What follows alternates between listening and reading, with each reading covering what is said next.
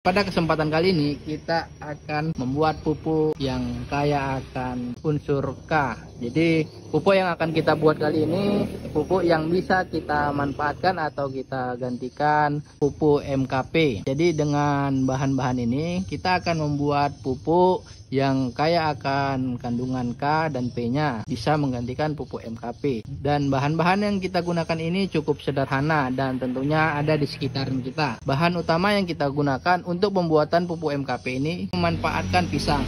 Jadi pisang yang kita gunakan di sini itu pisang yang sudah busuk dan ini kita dapat di pasar. Di sini ada air kelapa dan di sini ada garam. Bahan selanjutnya di sini ada E4 E4 yang kita gunakan di sini E4 yang telah kita aktifasi dan bahan terakhir di sini ada molasses. Jadi molasses sebagai sumber makanan untuk proses fermentasi pupuk kita ini. Selain molasses, sobat bisa menggantikannya dengan gula merah ataupun gula putih.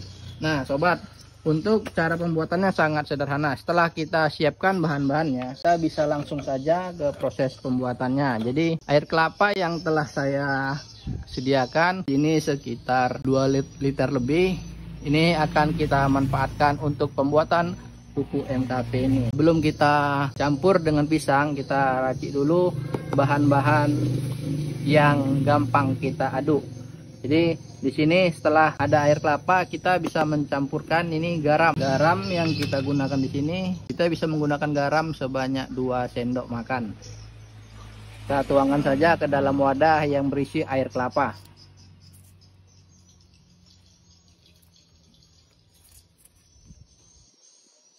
Nah, bahan selanjutnya kita menggunakan E4. E4 yang kita gunakan sini telah kita lakukan aktivasi. Untuk E4-nya kita bisa menggunakan sekitar 100 ml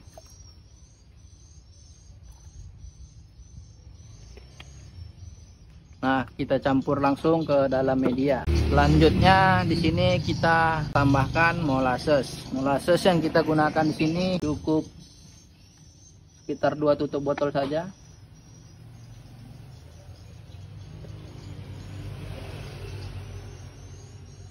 Oke, setelah bahan-bahan ini kita campur, kita bisa lakukan pengadukan. Belum kita masukkan pisang. Kita aduk. Bahan yang di dalam wadah ini air kelapa air le, air kelapa molasses E4 yang telah diaktifasi garam. Kita aduk sampai semua tercampur secara merata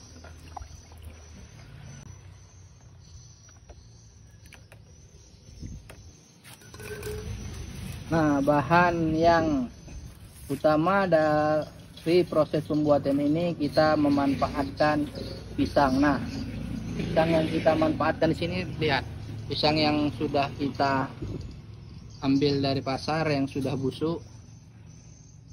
Ini sudah dibuang jadi kita manfaatkan untuk proses pembuatan.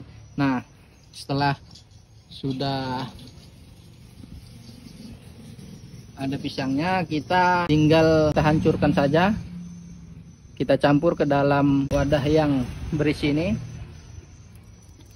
Karena kondisi pisangnya sudah sangat eh, masak dan tua kita tinggal merematnya saja.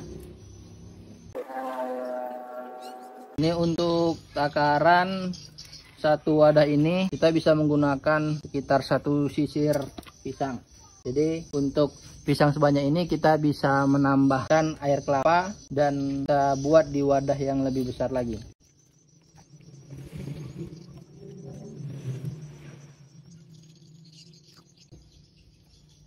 Nah, nah setelah semua kita campur, kita aduk lagi sampai pastikan garam, molasses dan bahan lainnya sudah terlarut.